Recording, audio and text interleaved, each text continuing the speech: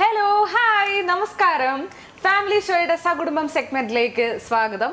ഇന്ന് സകുടുംബത്തിൽ ഒരു കലാകുടുംബമാണ് നമ്മളോടൊപ്പം ഗസ്റ്റ് ആയിട്ട് എത്തിയിരിക്കുന്നത്. സ്വാഗതം ചെയ്യുന്നു സജി ആനന്ദ് ആൻഡ് ഫാമിലി നമസ്കാരം. ഹായ് ഹായ് സജി ചേട്ടാ സജി ചേട്ടന്റെ സ്വദേശം എവിടെയാണ്? ഞാൻ പുനലൂരാണ് കൊല്ലം ജില്ല. കൊല്ലം ജില്ല. പ്രീഷ് ചേച്ചി ഞാൻ കൊല്ലം കടപ്പാക്കട. ആണ്. രണ്ടുപേരും ഇത് തുടങ്ങുന്നതിന് മുമ്പ് ഇവിടെ ഒരു തർക്കം നടന്നേ. അതാണ് ഞാൻ ആദ്യമേ ചോദിച്ചത്. ഞങ്ങൾ ഇങ്ങനെ ഒരാൾ പറഞ്ഞു പുല്ലൂര് മതി. ഒരാൾ പറയുന്നു അല്ല കൊല്ലം മതി. യെസ് അപ്പൊ രണ്ട് മക്കളാണ്. ഹൈലി ടാലന്റഡ് ആയിട്ടുള്ള രണ്ട് വ്യക്തികളാണ് എന്നോടൊപ്പം ഉള്ളത്. Hi Shruti. Shruti Nandana. And Pranav. Anand okay Shruti Shruti എന്ത് ചെയ്യാണ്? പഠിക്കാൻ ഞാൻ ആർക്കിടെക്ചർ ഫസ്റ്റ് ഇയർ ഇപ്പം കഴിഞ്ഞു. ഫസ്റ്റ് ഇയർ കഴിഞ്ഞു. ഓക്കെ മോൻ? ഞാൻ ലെവൻത്തിൽ പഠിക്കുക ലെവൻത്തിൽ പഠിക്കുകയാണ് കലാകുടുംബം എന്ന് ഫസ്റ്റിൽ ഞാൻ എടുത്തു പറഞ്ഞിട്ടുണ്ടായിരുന്നു. അതിന്റെ അതിന്റെ കാരണം എന്റെ തൊട്ടടുത്ത് നിൽക്കുന്ന ആളെ ഇരിക്കുന്ന ആളെ നിങ്ങൾക്ക് ഓൾറെഡി അറിയാവുന്നതാണ്. ബിക്കോസ് സാരഥിയിലൂടെ നമ്മൾ പ്രിയപ്പെട്ട പ്രേക്ഷകർ കണ്ടു കഴിഞ്ഞു. എന്നാലും ഞാൻ ഒന്നുകൂടെ പരിചയപ്പെടുത്തുകയാണ്. ഡാൻസറാണ് ഇന്റർനാഷണൽ യോഗ ട്രെയിനറാണ് അതുപോലെ തന്നെ ഒരു എഴുത്തുകാരിയാണ് ചിത്രകാരിയാണ് അല്ലേ? കംപ്ലീറ്റ് പാക്കേജ് ആണ്. പ്രീഷ് ചേച്ചി അതുപോലെ തന്നെ മകളും ഡാൻസറാണ്. നന്നായിട്ട് ചിത്രം വരയ്ക്കുന്ന ആളാണ്. ശ്രുതി വരച്ചിട്ടുള്ള പെയിന്റിങ്സ് ആണ്. ചില പെയിന്റിങ്സിൽ ഒരു രണ്ട് പെയിന്റിങ് നിങ്ങൾക്ക് വേണ്ടിയിട്ട് ശ്രുതി ഇന്നിവിടെ കൊണ്ടുവന്നിട്ടുണ്ട്. അതാണ് ബാക്കിൽ കാണാനായിട്ട് പറ്റുന്നത്. അല്ലേ ശ്രുതി? ഓക്കെ. അപ്പോൾ ഇതിനെപ്പറ്റി ഒന്ന് പറയോ? പെയിന്റിങ് അതൊരു ഹോബിയാണോ അതൊരു പാഷനാണോ എന്താണ്? എനിക്ക് പെയിന്റിങ് നിങ്ങൾ എനിക്ക് ഡ്രോയിങ് ഹോബിയായിട്ട് ആയിട്ട് എപ്പോഴും ചെയ്യാൻ നോക്കും. ചെയ്യാൻ നോക്കും. പിന്നെ പെയിന്റിങ് ഞാൻ എക്സിബിഷൻസിനായിട്ട് ചെയ്തിട്ടുണ്ട്. ചെയ്തിട്ടുണ്ട് അല്ലേ? എവിടെയായിരുന്നു? ഈ ആഹ് എനിക്ക് ടെൻ ഇയേഴ്സ് ഞാൻ ഡ്രോയിങ് പഠിച്ചു ഫസ്റ്റ് സ്റ്റാൻഡേർഡ് മുതൽ. സോ ഇവിടെയും പഠിച്ചു നാട്ടിലും പഠിച്ചു നാട്ടിലും പഠിച്ചിട്ടുണ്ടായിരുന്നു. സോ പെയിന്റിങ് ഇവിടെ വെച്ചാണ് ചെയ്തിരുന്നത് മോഹൻ സർ എന്ന് പറഞ്ഞിട്ട്. ആ ഓക്കെ നമ്മുടെ ശ്രുതി ഒരു യു എ ഗോൾഡൻ വിസ ഹോൾഡറും കൂടെയാണ് കേട്ടോ. അപ്പൊ അത് എങ്ങനെ കരസ്ഥമാക്കി എന്നുള്ളത് അറിയണമെങ്കിൽ ശ്രുതി തന്നെ പറഞ്ഞു കൊടുക്കണം. അത് ട്വൽത്തിന്റെ മാർക്സ് വെച്ച് ട്വൽത്തിന്റെ മാർക്സിന്റെ ബേസിസിലായിരുന്നു ശ്രുതിക്ക് ആ ഒരു അച്ചീവ്മെന്റ് കിട്ടിയിട്ടുണ്ടായിരുന്നത്. എങ്ങനെയായിരുന്നു അത്? അതിന്റെ ഒരു ഫോർമാലിറ്റി അല്ല ശ്രുതി അതിന്റെ കുറച്ച് കാര്യങ്ങൾ നമ്മളോട് ഷെയർ ചെയ്തിട്ടുണ്ടായിരുന്നു. അത് തന്നെ നമുക്ക് പ്രേക്ഷകരിലോടും ഒന്ന് പറയാം. അത് ട്വൽത്തിന് നയന്റി ഫൈവ് പെർസെന്റ് അബവ് ആണെങ്കിൽ നമുക്ക് അപ്ലൈ ചെയ്യാം. സോ അപ്ലൈ ഇട്ടിട്ട് അപ്രൂവൽ ഇട്ടാൽ നേരം വീണ്ടും വിസ ചേഞ്ചിനായിട്ട് കൊടുത്തു കഴിഞ്ഞാൽ അവർ ഗോൾഡൻ വിസ തരും. സോ അങ്ങനെ അപ്ലൈ ചെയ്ത് അങ്ങനെ അപ്ലൈ ചെയ്ത് ഒരു ഗോൾഡ് പക്ഷെ അത് പറയുമ്പോഴത്തേനും ഫേസിൽ ഒരു- ഒരു സങ്കടം പോലെ അല്ലേ? അപ്പൊ തൊട്ടടുത്തിരിക്കുന്ന ആൾ ഇടിയൊക്കെ കൊടുക്കാൻ പറ്റുന്ന ഒരാളാണ് കരാട്ടെ അല്ലേ? പറഞ്ഞോളൂ. അതൊരു ഹോബിയാണോ? അതൊരു മെയിൻ ആ ഞാൻ ഓൾമോസ്റ്റ് ഒരു ടെൻ ഇയേഴ്സ് ആയി ഇപ്പം ചെയ്തത് ഞാൻ ഫസ്റ്റ് ഗ്രേഡിലായപ്പോൾ തുടങ്ങിയത്. തുടങ്ങിയതാണ്. പിന്നെ ഓൾമോസ്റ്റ് എയ്റ്റ് ഇയേഴ്സ് കണ്ടിന്യൂ ചെയ്തിട്ട് കോവിഡ് വന്നപ്പം ടു ഇയേഴ്സ് നിർത്തി. ഇപ്പൊ ഇപ്പൊ ഒരു ത്രീ മന്ത്സ് ആയിട്ട് പിന്നെയും റീജോയിൻ ചെയ്തിട്ടുണ്ട്. ചെയ്തിട്ടുണ്ട്. അപ്പൊ വീട്ടിൽ ചേച്ചിയും അനിയനും കൂടെ കുസ്തി നടത്താറുണ്ടോ? അത് അച്ഛനോടും അമ്മയോടും ശരിക്കും ചോദിക്കേണ്ട ചോദ്യമാണ്. അച്ഛനോട് ചോദിക്കാം അല്ലേ? എങ്ങനെയാണ് ഇവർ രണ്ടുപേരും വീട്ടിൽ? അത്യാവശ്യത്തിന് രണ്ടുപേരും കൂടെ ഫൈറ്റ് ചെയ്യും. ആ ഫൈറ്റ് ചെയ്യാം അവർ തന്നെ സെറ്റിൽ ആയിക്കോളും. അവർ തന്നെ തന്നെ. അവിടുന്ന് അങ്ങോട്ട് ഇവിടുന്ന് അങ്ങോട്ട് ഡാൻസിന്റെ മുദ്രകൾ ഉപയോഗിച്ചിട്ടായിരിക്കും. അവിടുന്ന് ഇങ്ങോട്ട് കരാട്ടയുടെ ഓരോ അല്ലേ? അങ്ങനെ ആയിരിക്കും അല്ലേ? രണ്ടുപേരും കൂടെ അടിയും പിടിയും. അങ്ങനെയല്ല ചുമ്മാ എന്തെങ്കിലും ചെയ്ത് എന്തെങ്കിലും ചെയ്തിട്ട്. അപ്പൊ ഇതിന്റെ ഇടയിൽ കോംപ്രമൈസ് ചെയ്യാൻ അച്ഛനും അമ്മയും ചെല്ലാറുണ്ടോ? ഇല്ല. ഇല്ല. അവർ തമ്മിൽ തീർത്തോളും. അവർ തമ്മിൽ തല്ലി അവർ തുടങ്ങുക അവർ തീർത്തോളും. ഇടയിലോട്ട് കയറി കഴിഞ്ഞാൽ കിട്ടും എന്നുള്ള കാര്യം ഉണ്ടായതുകൊണ്ട് അവർ തമ്മിലുള്ള പ്രശ്നങ്ങൾ അവർ തമ്മിൽ തല്ലി അങ്ങ് തീർത്തോളൂ അപ്പോ ചേട്ടൻ എത്ര വർഷമായി യു എയിൽ ദുബായിൽ? ഞാൻ നയന്റി നയൻ മുതൽ ഇവിടെ ഉണ്ട്. Ninety five to ninety nine ഒമാനിലായിരുന്നു മസ്കറ്റിലായിരുന്നു. അവിടുന്ന് ഇങ്ങോട്ട് വന്നു. നയന്റി ഇവിടെ എത്തിയത്. നയന്റി നയനിൽ ആണ് മാരേജും കഴിഞ്ഞത്. അന്ന് മുതൽ ട്വന്റി ത്രീ ഇയേഴ്സ് ഇവിടെ ഉണ്ട്. ആ അന്നേരം തന്നെ ചേച്ചിയെ കൊണ്ടുവന്നു. അപ്പോ എങ്ങനെയായിരുന്നു നിങ്ങളുടെ നാട്ടിൽ നാട്ടിൽ രണ്ടുപേരും കൊല്ലമാണെന്ന് പറഞ്ഞിട്ടുണ്ടായിരുന്നു. അറേഞ്ച്ഡ് മാരേജ് തന്നെയായിരുന്നു. അതെ അതെ ആ ആയിരുന്നു. അപ്പം ചേട്ടന് ആഗ്രഹം ഉണ്ടായിരുന്നോ കല്യാണം കഴിക്കണമെങ്കിൽ നന്നായിട്ട് എന്താ ഡാൻസ് അറിയുന്ന ഒരാളെ ആയിരിക്കണം. അല്ലെങ്കിൽ അങ്ങനെ എന്തെങ്കിലും ഒരു ഒന്നുമില്ല. അതുകൊണ്ട് മാത്രമേ ഉള്ളൂ. ആ. പ്രൊഫഷൻ വൈസ് ചേച്ചി ഡോക്ടറാണ്. ഹോമിയോ ഡോക്ടറാണ്. ചേട്ടൻ എവിടെയാണ് വർക്ക് ചെയ്യുന്നത് ഞാൻ ഡി എമിറേറ്റ്സ് എന്ന് പറയുന്ന ഒരു കമ്പനിയിലായിരുന്നു. അത് കഴിഞ്ഞിട്ട് ഇപ്പോൾ സ്വന്തമായിട്ട് സ്കൈലാർക്ക് ഇന്റീരിയേഴ്സ് കഴിഞ്ഞ രണ്ട് വർഷമായിട്ട്. കഴിഞ്ഞ രണ്ട് വർഷമായിട്ട്. ഓക്കെ നിങ്ങളുടെ വീട്ടിൽ ഒരു കോമഡി താരം എന്ന് പറയുന്നത് ആരായിരിക്കും? അതായത് നമ്മളൊന്ന് ഡെസ്പായിട്ടൊക്കെ ഇരുന്ന് ഇരുന്നു കഴിഞ്ഞാൽ അപ്പൊ ഇവിടെ ഒരു കോമഡി ഒന്നും എനിക്ക് കേൾക്കാൻ പറ്റുന്നില്ല. അല്ലേ? നമ്മളൊക്കെ വീട്ടിലൊന്ന് ചെറിയ ഒന്ന് അമ്മയൊക്കെ ഡെസ്പായിട്ടൊക്കെ ഇരുന്ന് കഴിഞ്ഞാൽ അമ്മ അതൊക്കെ ഓക്കെ എന്നൊക്കെ പറഞ്ഞ് ഓടി വന്ന് അല്ലേ? ഒന്ന് ആശ്വസിപ്പിക്കുന്ന ആൾ മോനാണ് പ്രണവാണ് അല്ലേ? ആശ്വസിപ്പിക്കുന്ന അങ്ങനെയൊന്നും അവൻ അറിയത്തില്ല. നമ്മളെ വീണ്ടും എന്തെങ്കിലും ചെയ്ത് നമ്മളെ ഹാപ്പി ആക്കാൻ നോക്കും. എന്തെങ്കിലും ചെയ്ത് തമാശയൊക്കെ കാണിച്ച്. ആ നമ്മളെപ്പോഴും ഹാപ്പി ആയിട്ട് കൊണ്ട് നടക്കാൻ തോന്നും. മോനെ മോന് വേറെ ഏതാണ്? ഹോബീസ് എന്ന് പറഞ്ഞു കഴിഞ്ഞാൽ? ഹോബീസ് പറഞ്ഞാൽ എനിക്ക് ഫുട്ബോൾ കളിക്കാൻ ഇഷ്ടമാണ് ഫുട്ബോൾ പിന്നെ എന്താ ഗെയിംസ് കളിക്കാൻ ഇഷ്ടം പിന്നെ എന്താ? പിന്നെ എന്തെങ്കിലും ഫ്രണ്ട്സിനോട് എന്തെങ്കിലും സൈക്കിൾ ഓട്ടം അങ്ങനെയൊക്കെ പോകുന്നത് അങ്ങനെയുള്ള കാര്യങ്ങളൊക്കെ ഇഷ്ടമാണ്. എട്ടാം ക്ലാസ് വരെ ചേച്ചിയുടെ കൂടെ ഡ്രോയിങ് എക്സിബിഷനിലെല്ലാം ഉണ്ടായിരുന്നു. പങ്കെടുക്കുന്ന ആളായിരുന്നു ഡ്രോയിങ് വരച്ചിട്ടുണ്ട്. പെയിന്റിങ് ചെയ്തിട്ടുണ്ട്. പെയിന്റിങ് ചെയ്തിട്ടുണ്ട്. അപ്പൊ അതും ഇഷ്ടമാണ് അതൊരു ഹോബി ആയിട്ട്. അതൊക്കെ അത്ര ഇഷ്- ഇഷ്ടമല്ല. അതുകൊണ്ട് നിർ- നിർത്തിയത്. അതുകൊണ്ട്. ഇരുന്ന് വരയ്ക്കാൻ മടിയാണ്. അതാണ്.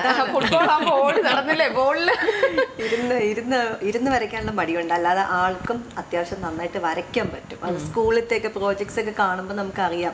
ആ ചെയ്യുന്നത് കാണുമ്പോൾ അറിയാം. വരയ്ക്കാനുള്ള ആ ഒരു കഴിവുണ്ട് അല്ലേ? പക്ഷെ മോൾ അങ്ങനെയല്ല. എത്ര ഒരു ദിവസം ഫുൾ ഡേ വേണമെങ്കിലും അവൾ അതുമായിട്ട് ഇരുന്നോളും. അവൾക്ക് എന്തെങ്കിലും ഒന്ന് വരയ്ക്കണം തോന്നിക്കഴിഞ്ഞാൽ അവൾ മണിക്കൂറുകൾ സമയം പോകുന്നത് ഫുഡോ ഒന്നും അറിയത്തില്ല. ഇവ അങ്ങനെയല്ല മടിയാ. ആ കാര്യത്തിൽ മടിയാ. പഠിക്കുന്ന കാര്യത്തിൽ മടിയില്ല. ആ ഒരു കാര്യത്തിൽ. പക്ഷെ ശരിക്കും പറഞ്ഞാൽ എപ്പോഴും നമ്മൾ ശ്രദ്ധിക്കുകയാണെന്നുണ്ടെങ്കിൽ വീട്ടിലെ ഇളയ ആളായിരിക്കുന്നു അല്ലേ? നമുക്ക് ഏറ്റവും കൂടുതൽ അല്ലെ? ഒരു കുസൃതി അങ്ങനെയൊക്കെയുള്ള ഒരു ആളെന്ന് പറഞ്ഞു കഴിഞ്ഞാൽ വീട്ടിലെ ഇളയ ആളായിരിക്കും. ചേച്ചി ഇങ്ങനെ എന്താ പറയാ ഞാൻ ചേച്ചിയാണ് അല്ലെങ്കിൽ നീ ഇത് ചെയ്യുക അങ്ങനെയൊക്കെ പറയാറുണ്ടോ? ഇല്ല നിങ്ങൾ ഫ്രണ്ട്സ് തന്നെയാണ് അല്ലേ? ശരിക്കും പറഞ്ഞ ശ്രുതിക്ക് എന്തോ പറയാനുണ്ട്. ശ്രുതി പറഞ്ഞു. ഇല്ല അങ്ങനെ പറഞ്ഞാലും ഒന്നും നടക്കത്തില്ല. അല്ല ശ്രുതിക്ക് ആഗ്രഹമുണ്ട്. ഞാൻ ചേച്ചിയാണ്. നീ അങ്ങനെ ചെയ്യുമെന്ന് പറഞ്ഞു കഴിഞ്ഞാലും പ്രത്യേകിച്ചൊന്നും നടക്കില്ലല്ലേ? അല്ല ചെറുപ്പകാലത്തൊക്കെ അങ്ങനെയായിരുന്നു. ആയിരുന്നു ഇവളെ ഡിമാൻഡ് ചെയ്യുന്ന കണക്കും കമാൻഡ് ചെയ്യുന്ന കണക്കുമായിരുന്നു അവനെല്ലാം ചേച്ചിയുടെ ഒരു ഫോളോവർ ആയിരുന്നു. പക്ഷെ കുറച്ച് വലുതായി കഴിഞ്ഞപ്പോ പിന്നെ രണ്ടുപേരും ആ. നല്ല കട്ടയ്ക്ക് നിന്നു. മനസ്സിലെന്തോ ഒരു കമന്റ് പറഞ്ഞിട്ടുണ്ട്. ആ മനസ്സിൽ പറയുന്ന കമന്റ് ശരിക്കും ഒന്ന് പുറത്തോട്ട് വന്നോട്ടെ കേട്ടോ. ആ മനസ്സിൽ ആ ഒരു ഫേസ് അങ്ങനെ ഫോളോവർ ഒന്നും കുഞ്ഞിലെയുള്ള കാര്യമാണ് അമ്മ പറയുന്നത്. യെസ് അപ്പോൾ ശ്രുതി എന്താ ഡാൻസർ ആണെന്ന് ഞാൻ പറഞ്ഞിട്ടുണ്ടായിരുന്നു. അതിന്റെ കൂടെ തന്നെ നന്നായിട്ട് ബേക്ക് ചെയ്യുന്ന ആളാണ് എന്നൊരു എവിടുന്നോ ഞാനൊരു ശ്രുതി കേട്ടു. എനിക്ക് ബേക്ക് ചെയ്യാൻ ഇഷ്ടം. ഞാൻ കൊച്ചു തൊട്ട് ഉണ്ടാക്കാൻ നോക്കും കേക്ക്സ് ഒക്കെ. അത്രേ ഉള്ളൂ. അത്രേ ഉള്ളൂ. എന്നാലും ഈ നമ്മുടെ ബർത്ത്ഡേ ഒക്കെ വരുമ്പോഴത്തേനും നമ്മൾ തന്നെ ചെയ്യണം. അങ്ങനെയൊക്കെയുള്ള ഒരു അതായത് നമുക്ക് അറിയാവുന്ന ഒരു കാര്യമാകുമ്പോഴത്തേനും അമ്മയുടെ അടുത്ത് പറയൂ എന്റെ ബർത്ത്ഡേ അടുത്ത വീക്കാണ് എങ്ങും ഓർഡർ ഒന്നും കൊടുക്കണ്ട. ഞാൻ തന്നെ ചെയ്തോളാം. അങ്ങനെയൊക്കെ പറഞ്ഞു. അതെനിക്കൊന്ന് എത്ര വയസ്സ്. പത്ത് വയസ്സ് ടെൻത്ത് ബർത്ത്ഡേ ആയപ്പോഴേ പറഞ്ഞു. ഇനി നയൻത് ബർത്ത്ഡേ വരെ മേടിച്ചിട്ടുള്ളൂ. ടെൻത്ത് ബർത്ത്ഡേക്ക് പറഞ്ഞു ഇനി മേടിക്കണ്ട എന്റെ ബർത്ത്ഡേക്ക് ഞാൻ. പക്ഷെ ടെൻത്ത് ലെവൻത്തും ഒക്കെ അങ്ങനെ നമുക്കൊരു നല്ല രീതിയിലുള്ള ഇതൊന്നും കുഞ്ഞുങ്ങൾ ഉണ്ടാക്കുന്ന രീതിക്കായിരുന്നു. പക്ഷെ അത് കഴിഞ്ഞ് പിന്നെ നല്ല നമ്മുടെ നമ്മുടെ വീട്ടിൽ ഒരു ഇവന്റിനും നമ്മൾ പുറത്തുനിന്ന് കേക്ക് മേടിക്കാറില്ല. ഡെക്കറേഷൻ ഒക്കെ നല്ല ക്രിയേറ്റീവ് ആയിട്ട് ചെയ്യും. ക്രിയേറ്റീവ് ആയിട്ട് ചെയ്യും. എല്ലാം അതെങ്ങനെയാണ്? അത് പഠിച്ചത് ആ ഒരു ഇഷ്ടം കൊണ്ട് അങ്ങനെ യൂട്യൂബ് കണ്ടുണ്ട് കണ്ട് കണ്ട് കണ്ട് ആ ഒരു ഇഷ്ടം ഉണ്ടായിരുന്നില്ലേ? കുക്കിങ്ങിൽ എങ്ങനെയാണ് അമ്മയെ ഹെൽപ്പ് ചെയ്യാറുണ്ടോ? കുക്ക് അല്ല അമ്മ ഉണ്ടാക്കുന്നതിന് ഹെൽപ്പ് ചെയ്യത്തില്ല? ഞാൻ സെപ്പറേറ്റ് ആയിട്ട് വേറെ എന്തെങ്കിലും ഉണ്ടാക്കും. എനിക്ക് തോന്നുന്നു ശ്രുതി കുക്ക് ചെയ്യുന്ന അല്ലെങ്കിൽ ബേക്ക് ചെയ്യുന്ന സമയത്ത് കിച്ചണിലോട്ട് പോലും ആരെയും കയറ്റി ഇടാറില്ല. ഞാൻ കേറാറില്ല. കേറാറില്ല. അല്ല എന്താന്നറിയാ നമ്മൾ കുക്ക് ചെയ്യുന്നത് മിക്കതും നമ്മുടെ നാടൻ കേരള നാടൻ ഡിഷുകളായിരിക്കും പക്ഷെ മോൾക്ക് ഇഷ്ടം എന്ന് വെച്ചിരുന്നാൽ കൂടുതൽ ഫ്രൈഡ് റൈസ് പാസ്ത സാൻഡ്വിച്ചുകൾ ചില്ലി ചിക്കൻ പുഡിങ്ങുകൾ അങ്ങനത്തെയാണ്. അപ്പൊ അത് ഉണ്ടാക്കേണ്ട ദിവസം ആൾക്ക് ഈ പരീക്ഷയൊക്കെ കഴിഞ്ഞ് കഴിയുമ്പോൾ പറയും എനിക്ക് ബ്രേക്ക് എടുക്കണം. അപ്പൊ ബ്രേക്ക് എടുക്കുന്ന കുക്ക് ചെയ്തുകൊണ്ടാണ്. ഒന്നേ കുക്ക് ചെയ്ത് അല്ലെങ്കിൽ വരച്ചുകൊണ്ടാണ് ബ്രേക്ക് ബ്രേക്ക് എടുക്കുന്നതെന്ന് പറയുന്നത് അല്ലേ? അപ്പം നമ്മൾ ആ കിച്ചൺ അങ്ങ് വിട്ടു കൊടുക്കും. എന്താന്ന് വെച്ച് കഴിഞ്ഞാലല്ലേ അതെന്തായാലും കറക്റ്റ് ആയിട്ട് വരും എന്നുള്ള കാര്യം അമ്മയ്ക്ക് ഷുവറാണ് കേട്ടോ. ആ ഒരു കാര്യത്തിൽ അമ്മ അതാണ്. നല്ല മോൾ ഉണ്ടാക്കിയതിൽ ഏറ്റവും ഇഷ്ടപ്പെട്ട എന്താണ്? എനിക്ക് അവളിങ്ങനെ എന്താ ഈ ചിക്കന്റെ ഒക്കെ തന്നെ നമുക്ക് ഈ ചില നല്ല ഹോട്ടൽസിലൊക്കെ ചെയ്യുമ്പോൾ ഇങ്ങനെ പ്ലേറ്റ് ചെയ്ത് തരത്തില്ലേ? ഒരു കുറച്ച് സാലഡ്സ് കുറച്ച് ചിക്കൻ ആ രീതിയിൽ ഒരു നല്ല ഒരു കോംബോ കണക്ക് പ്രസന്റേഷൻ ഉണ്ട് അല്ലേ? പ്രസന്റേഷൻ അല്ല ആ ഒരു കോംബോ മീൽ കണക്ക് കുറെ എന്തൊക്കെയോ സാലഡ്സും കുറെ ഇതും. അവൾ തന്നെ പല ടൈപ്പ് സോസുകളൊക്കെ ഉണ്ടാക്കും. സ്വന്തമായിട്ട് പരീക്ഷണങ്ങൾ നടത്തുന്നത് സ്വന്തമായിട്ടുള്ള ഐഡിയാസ് വെച്ചിട്ട് ചെയ്യാറുണ്ട് അല്ലേ? എങ്ങനെയാണ് പ്രണവിന്റെ പ്രണവിന്റെ പരിപാടി എന്താണ്? ഈ ഒഴിവ് സമയത്തൊക്കെ ഫുട്ബോൾ കളിക്കാൻ പോയി അത് പുറത്ത്. അല്ലാതെ വീടിനകത്തിരിക്കുന്ന ഒരു ടൈമിലുണ്ടല്ലോ ഇങ്ങനെയുള്ള എന്തെങ്കിലുമൊക്കെ ഒരു ആക്ടിവിറ്റീസ് എന്താ തോന്നുന്നു ചിലപ്പോ ഞാൻ എന്താ എന്തെല്ലാം കാണുമില്ലെങ്കിൽ അങ്ങനെ വെച്ച് എനിക്ക് അറിഞ്ഞൂടാ എന്ത് എന്ത് എന്തെങ്കിലുമൊക്കെ അല്ലേ? ഫുൾ ടൈം എൻഗേജ്ഡ് ആവാനായിട്ട് നോക്കും. ഇതിൽ അച്ഛനാണോ അമ്മയാണോ വീട്ടിൽ ഏറ്റവും കൂടുതൽ വഴക്ക് പറയുന്നത്? എ- നോക്കണ്ട പറഞ്ഞോ. പറയുന്നേ. ആ വഴക്ക് അമ്മ. അമ്മയാണല്ലേ? അച്ഛൻ ഇങ്ങനെ ഇരിക്കും എന്റെ പേര് പറയല്ലേ? ആണ് അമ്മയാണല്ലേ കൂടുതൽ?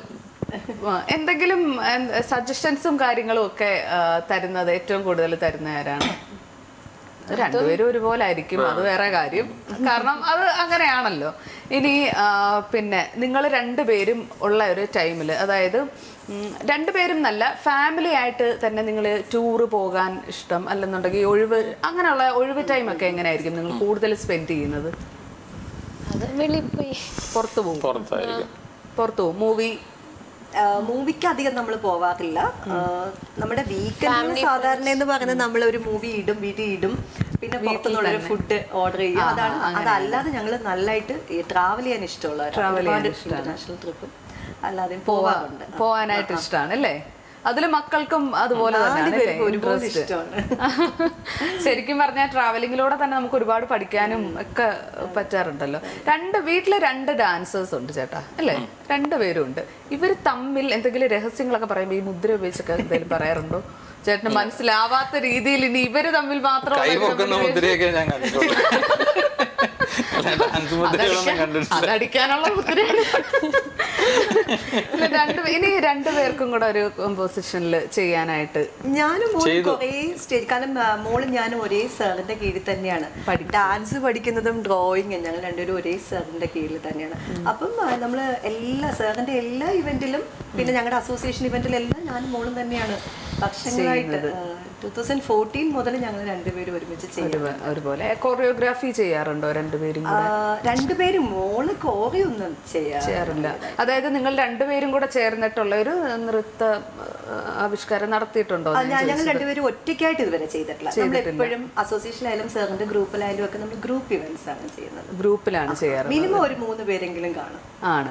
ഓക്കെ അപ്പോ ചേട്ടൻ എന്തായാലും ഫുൾ ടൈം അല്ലേ എന്റർടൈൻമെന്റ് ആയിരിക്കും വീട്ടിലെ. എല്ലാ കാര്യത്തിനും എല്ലാ കാര്യത്തിനും ആളുകൾ ഉണ്ട് അല്ലേ? ഇനി നാട്ടിലേക്ക് വന്നു കഴിഞ്ഞാൽ ചേട്ടന്റെ ഫാമിലിയിൽ ആരൊക്കെയാണ്?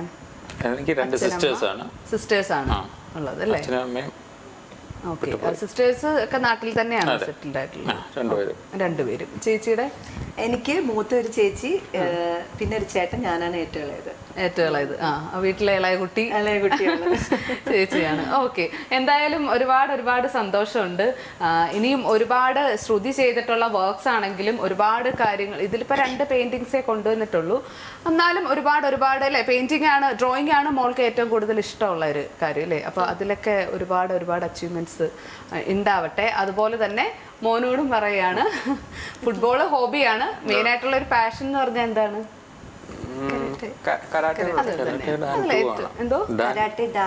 സെക്കൻഡ് ബ്ലാക്ക് ബെൽറ്റ് ആ സെക്കൻഡ് അല്ലേ? ബ്ലാക്ക് ബെൽറ്റ് തേർഡ് ആണ്. ബ്ലാക്ക് ബെൽറ്റിലേക്ക് പോകാനുള്ള തയ്യാറെടുപ്പ് ഓക്കെ. അതെല്ലാം നടക്കട്ടെ. All the very best and അതുപോലെ തന്നെ സജി ചേട്ടനും പ്രീഷ് ചേച്ചിക്കും എല്ലാവർക്കും ഫാമിലിക്ക് മൊത്തത്തിൽ ഒരുപാട് ഒരുപാട് സന്തോഷമുണ്ട്. കുറച്ച് ടൈം വന്ന് നമ്മുടെ എൻ ടി വി പ്രേക്ഷകരോട് കമ്മ്യൂണിക്കേറ്റ് ചെയ്ത് നിങ്ങളുടെ വിശേഷങ്ങളും അല്ലേ കൊച്ചു കൊച്ചു സന്തോഷങ്ങളും ഒക്കെ പങ്കുവെക്കാനായിട്ട് സാധിച്ചു. ഒത്തിരി സന്തോഷമുണ്ട്. ഇനി എൻ ടി വി പ്രേക്ഷകരോട് എന്തെങ്കിലും ഒന്ന് പറയാനുണ്ടോ? എല്ലാവർക്കും സന്തോഷം. യെസ് എല്ലാവരും സന്തോഷത്തോടെ സമാധാനത്തോടെ ഇരിക്കട്ടെ. അതാണ്. അതെ. നമുക്ക് വീണ്ടും മറ്റൊരു ഫാമിലിയുമായി സകുടുംബത്തിലൂടെ കണ്ടുമുട്ടാം. നമസ്കാരം.